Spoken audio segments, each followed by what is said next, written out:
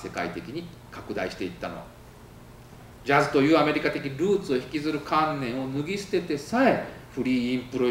脱ぎ捨ててなおフリーインプロビゼーションにそれが成長し得たのは革命の時間性が世界的に共有されていたから偏在していたからのように、まあ、思えてならないわけです。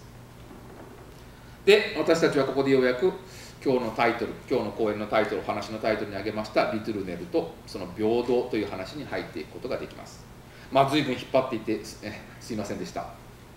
しかし即興パフォーマンスとこの2つのテーマを合わせて論じようとすると私としてはどうしてもいわば2つの概念に共通する同票や期限のようなものを確認しておく必要を感じました。それが革命に特有の時間性であるわけです。即興パフォーマンスを実際にま実演しておられる方々は、まここまでの話を聞いて思われたはずです。なるほど。即興というのはそういう体験であるかもしれない。革命的かもしれない。その通りかもしれない私は確かに自分のパフォーマンスの中で過去と現在と未来未来を不断に入れ替えておる。不運命にしている。けれどそんなことを確認してどうやって実際に即興パフォーマンスを始めるのか。どうやって即興を続けることができるというのか。そういう疑問は当然であります。そもそも革命はいつか終わるものでありますし渦中にある時にはあれこれ考えている暇などない。そんなことをすればたちまち身動きが取れなくなります。集団即興もそうでしょう。人の演奏をよく聴こうなんて思っていると入っていけなくなります。そういう立ち往生する演奏者がいてですね客のこちらがいらぬ緊張感を強いられたような舞台を見たことがあります。お前は置物か金を返せと言いたくなりました。まあ渦中にいるとはそういうものでありましょう。だから人は終わってから一体どうすればいいのかとあれこれ考え始める。終わると考えざるを得ない。まあこういう席で申し上げるのは非常に恐縮ではあるんですけども音楽即興学会という集まりが成立すること自体ですね、まあ、私にはフリージャズ革命は本当に終わったんだなと思えて一面に寂しく思えてしまいます。しかしもちろん終わったからこうやって考える話をすることができるし、まあ、それには固有の意味があるんだろうとは思います。では何を考えるのか？何を考えると考えることができるのか？まあことが革命であるとしたらですね考えることは基本的に2つしかありません。どうやってそれに火をつけるのか。つまり始めるのか。そして始ま始まったものをどうやって持続させ成長させるのか。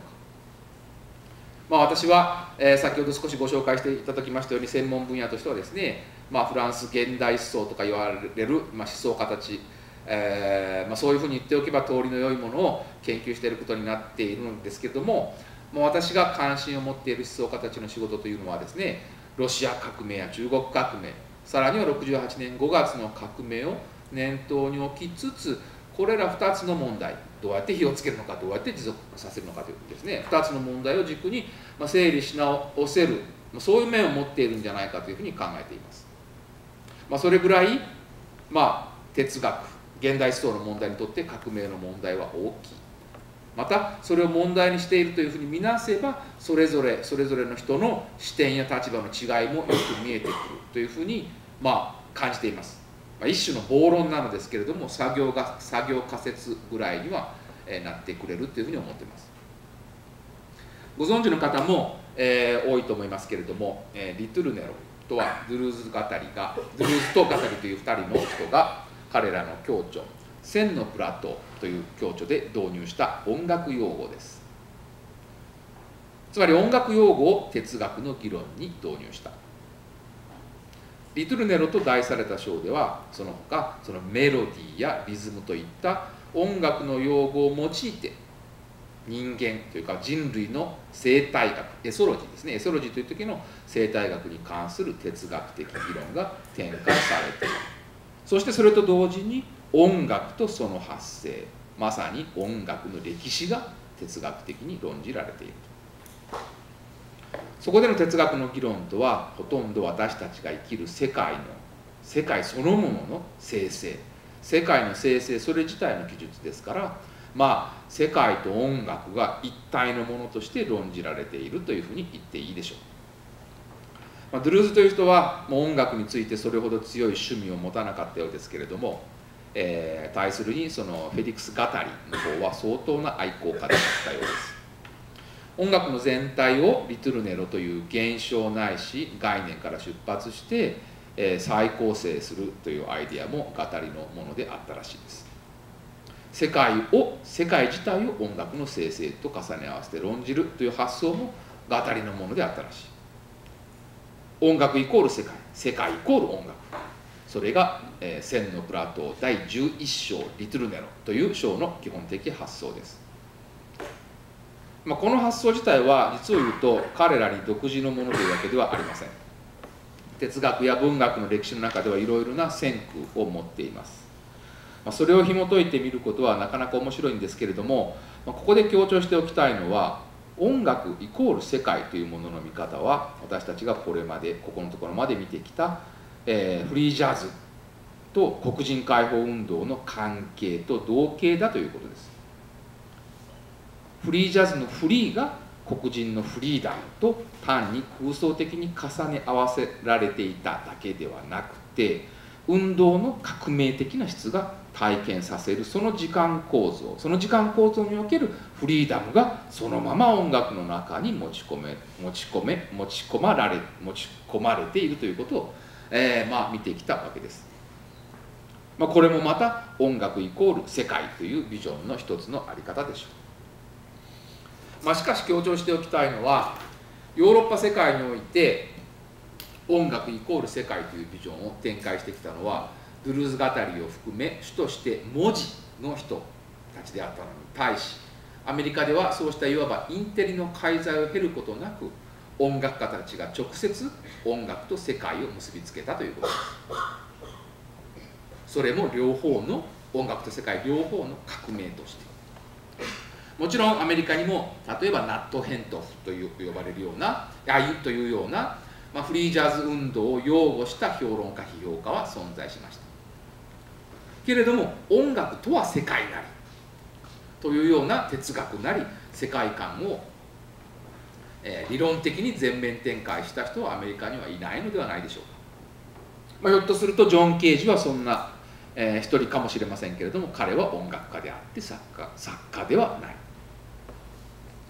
いわば19世紀ヨーロッパが思想的言語的に表明した音楽イコール世界という主体をアメリカは1960年代に音楽的に展開したわけです、まあ、その点では千のプラトーのリトルネルの章は深くヨーロッパ的だと言っていい。実際そこにはフリージャズはおろかフリーフリーフリーミュージック一般のインパクトはほぼ認められませんしドゥルーズ語りから直接影響を受けた音楽家といえば、えー、まず思い浮かぶのはプログレッシブロックのリシャール・ピナスであり現代音楽のパスカル・クリントンといった人たちです。いわゆるドゥルーズィアンの哲学者の中には俺はフリーミュージックのフリークだというふうに豪語する人もいるのですけれども即興音楽音楽そのものへの影響はほとんどないというふうに言っていいかと思います私はそれが言えなきことではないというふうに考えていますというのもこれはドゥルーズの方を、まあ、注目してドゥルーズの方に注目するとよくわかるんですけれども彼は革命を特別特別視することをやめてしまうからです。まあ、私たちはここでの話では革命を特別な時間として特別な構造を持った時間経験として定義してきました。そこでは過去と現在と未来時間の蝶番を外れて併存してしまう。私たちが日常を生きている時にはさまざまな時間のさまざまなスケールの時間が共存しているとはいえまあそこでは過去と現在と未来の、えー、順序構造によって全体がうまく整えられている。例えば学生時代の4年間という現在の中には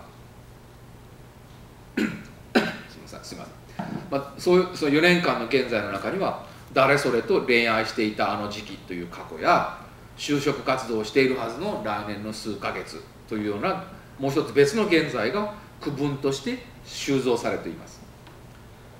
いわば現在がいろんな幅を取ることによってその前としての過去とその後としての未来も膨張したり